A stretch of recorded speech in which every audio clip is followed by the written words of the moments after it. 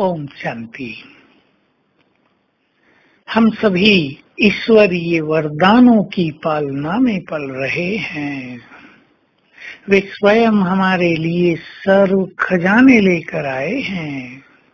वे हमसे बहुत प्यार करते हैं और अपने योग्य बच्चों को सब कुछ दे देना चाहते हैं ताकि उसकी महान, शक्तिशाली और योग्य संतान दो युग तक तो क्या चारों युग संसार को संभालते रहें, संसार के काम आते रहें, वो आए हैं।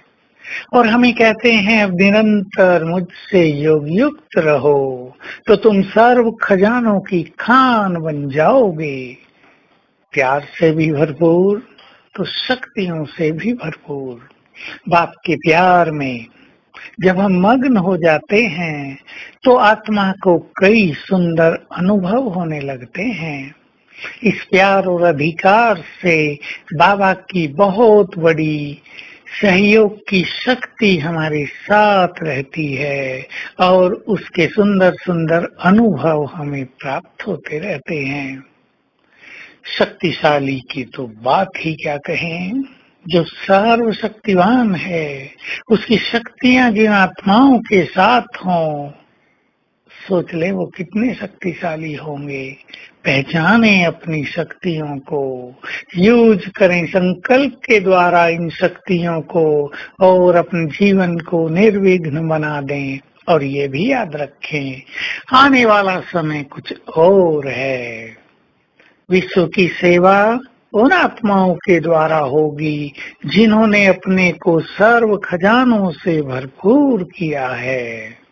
बाकी सभी पीछे आ जाएँगे, केवल योग युक्त आत्माएँ, महान स्थिति को प्राप्त की हुई आत्माएँ आगे आ जाएँगी, स्टेज पर ऊपर आ जाएँगी, और उनके द्वारा ही सबका कल्याण होगा। सब चाहेंगे, ये महान आत्मा हमें दृष्टि दे दे।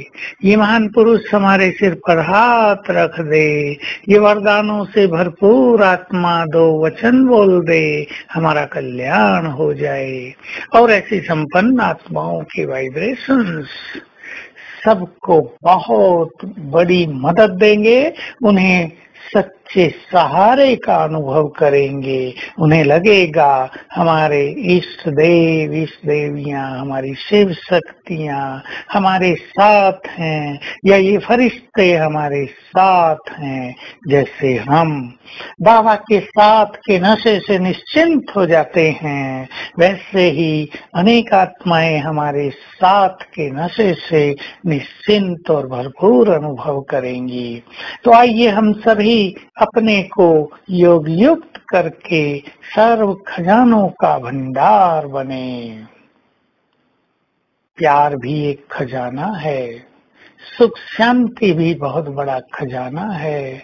तो दूसरे की दुआएँ और भगवान की दुआएँ भी हमारे लिए बहुत बड़ी संपत्ति है।